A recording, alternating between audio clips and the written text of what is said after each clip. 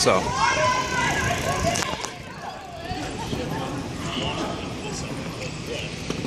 Alright, so here's a student bookstore, more or less.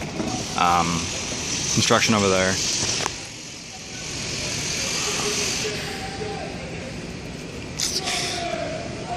Oh, that's random miscellaneous stuff back that way. Uh, one of the white buildings back there is the communication building I showed you. And I believe that would be the track team or RTC running, and man, the girls are look good looking. Anyway, so uh, that little grassy area you can see right there is the other end of what was it called? The other end of uh, eating area. So this is some green space, more of that. And I'm going to take you over by where the track is, and I want to show you if I can get in presumably I can get in. Uh, show you where the uh, all of the uh, USC famous athletes are. Because I figured, why not? It's not like you know you get to see these anyway. Might as well. So, University University of Seasonal Construction under well being actively active. Um, yeah. So, yeah.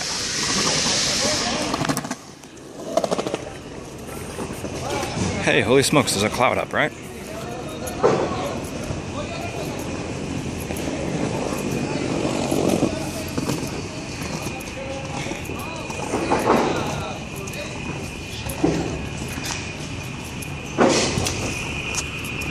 The other thing I'm trying to see if I can get into today. The other thing I'm trying to see if I can get into today is uh, they have um, they just opened up Heritage Hall again, and so if I can get in, I get it. If I can't, I can't. So, Heritage Hall is where they have all their Heisman Trophy winner stuffs and whatnot. Oh, here's one of the physical education buildings. Uh, note the old Greek architecture type thing, or whatever you call it, columns and whatnot. Random Greek writing everywhere, stuff like that. And again, if you haven't caught on, there's a lot of bikes on campus. If you haven't caught on, I figured you might have. Um, what time is it? Uh, it's only 11, so. Anyway, so I ended up helping. What reason what ended up happening was uh, I was helping a friend with a resume because today's a career fair, and so I'm not supposed to be at it till about 12:30, 1 o'clock. So I figured I'd help him out because he doesn't have a resume. Anyway, so I figured I'd help him out a bit.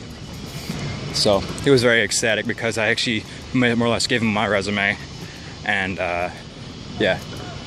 But take a quick peek into the track area because I can get in. Gates open. Um, anyway, so yeah, so here's the uh, track stadium where you have lots of things. And note you have Olympians, Olympians, Olympians, NCAA championships, and whatnot. And they all have plaques for each person who won. So this is the uh, gold medal rack. This is the Olympic, you've been to the Olympics, I believe, or medaled. And this is another, you've been to the Olympics and medaled. And this is uh, people who've won the NCAA championships throughout the years and NCAA championships once again. And another fountain. All right, so I'm gonna see if I can go show you guys the Heisman trophies. Again, if the audio doesn't come out, well, I guess I've just been talking to myself the whole day. Eh, what a surprise. Not like I haven't done that before. All right, so this is one of the, like I said, the physical education building. Uh, this is the other end of the communications school I mentioned to you.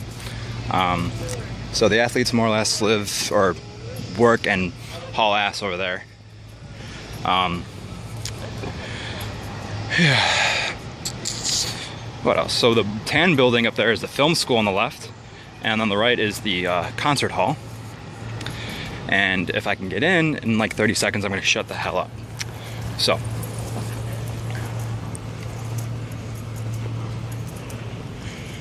All right. So, more stairs. What a surprise. So, apparently there was a bunch of five offensive linemen here who played in the same time period roughly, and they had that nickname, the Wild Bunch, huh? Well, this is back in the old 60s and 70s. Uh, my guess is some of them actually have gone on to the NFL and probably in Canton somewhere. But anyway, yeah. Give me one second. I might just have to resort to stills in here. But I'm gonna hit stop, and then I'm gonna start up again. Next one. Alright? Bye.